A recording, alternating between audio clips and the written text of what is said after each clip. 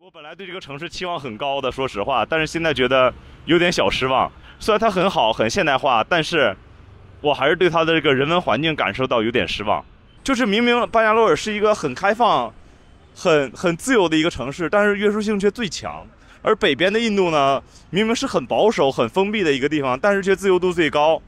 我有点不太理解，这到底是为什么？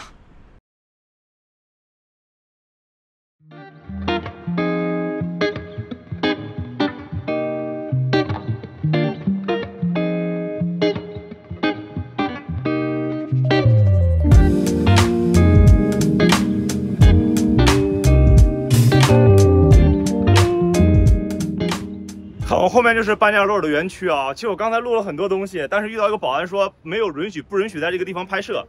我说你不允许在这条街上拍摄，还是不允许在这个地区拍摄？他说都不允许，就是一定要撵我走。我就想拍拍，展示一下印度高大上的部分，他也不让我拍，没办法，这点蛮让我生气的。你一个这个地方，我又不进入到你公司里面去拍，我就拍拍你街上这些花花草草，你至于吧？他需要一个准许才可以。好，现在这边是拿手机，然后稍微拍一拍。这边保安简直是疯了，盯着你像盯犯人一样。我们就简单看一下这个区吧，本来还想好好拍一下的。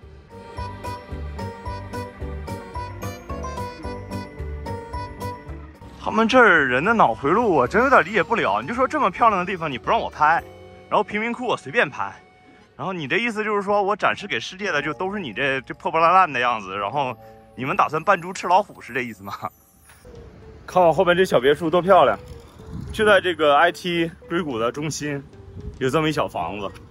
我猜他不拍主要是因为要保护富人的隐私吧。这个真的是富人的隐私是隐私，穷人的隐私又不是隐私了，是吧？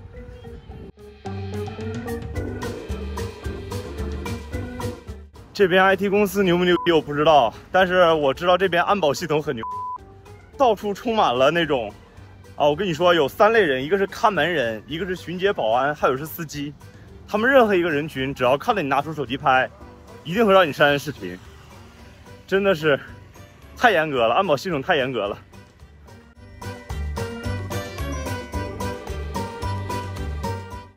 你们不愿意看到我，但是没办法，我要不 selfie 的话。他们是不会让我拍的。这个走这一路拍的太惊心动魄了，你还要躲着他们，还要很悄悄的拍，所以我拍的角度都很奇怪。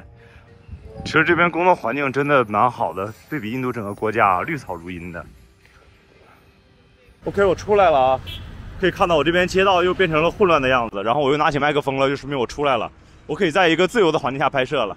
今天的这次拍摄让我觉得有一件事情特别不不理解，就是。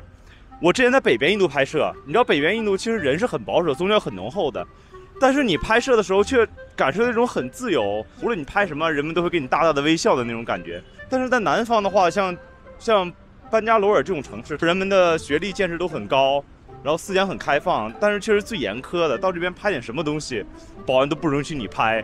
总之吧，就今天的这次拍摄，不知道你们有没有看爽？我拍下来非常累，因为我一直在躲保安。角度的话，就是没有办法调整，就只能就是说有什么角度就拍什么角度。我不想让保安抓到我拍摄，然后让我删影片，这样的话我就白来了。这地方就是与刚才我拍的啊印度的硅谷一街之隔的地方。天呐，扬尘了，疯了，简直！哎，还是那句话，那好看的地方他不让我拍，这地方随便拍。印度到底想咋的？你这国家能不能？找个好的方式宣传一下你自己啊！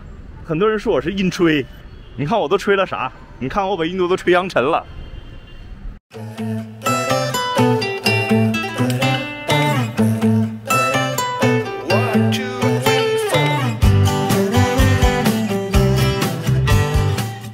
我现在又来到了第二处它的 IT 园区啊，然后希望这处管理的没有刚才那处那么严啊，不让我拍又怎么样子的？我真的是服了啊！他这边就是不允许拍照啊，这个地方也不允许。看来所有的班加罗尔的工业园区，就是 IT 公司附近都不允许拍。不拍不拍，我不拍就走吧。我主要是为了我身后这个建筑来的，看到了吗？就身后的这个建筑，对，这个是每次说到班加罗尔都会说到的一个建筑，特别漂亮，就是相当于班加罗尔这个城市的名片，就是我身后的这个建筑。我刚刚去了的话，它是它是 Oracle，就是 Oracle 公司的总部啊。我跟你们说，找这个建筑，我从昨天在国华就开始找，然后在机场也在找，昨天晚上在酒店也在找，一直在今天中午吃饭的时候还在找。我终于在最后的时候才找到这个地方，这个地方叫巴格美，它也是一个 IT 的一个中心。它这个城市其实分布很多 IT 的呃工作工作区域，然后这个是其中一个。它不是知名的一个 IT 区，但它就是这个建筑特别有名，所以说我就一定想拍一下。这个建筑很像老苏联建筑的方式，就是呃有点像超现实主义风格、后现代主义结构的这种东西。这个建筑真的挺漂亮的，但是我不得不吐槽说。你说它门前好好一片湖哈，不好好去弄，然后上了一个这个铁架子，我也不知道是为什么。然后下面也不好好弄，臭水沟一样全是味道。然后你看这个杂草长的，我的天呐！你好好弄一下，这地方应该很漂亮，应该算是一个城市公园啊，很痛心。你看这个树多漂亮，这个树冠。然后不知道为什么一定要拦上，我真的是服了他们了。好吧，你们自己国家，反正你们想怎么弄就怎么弄吧。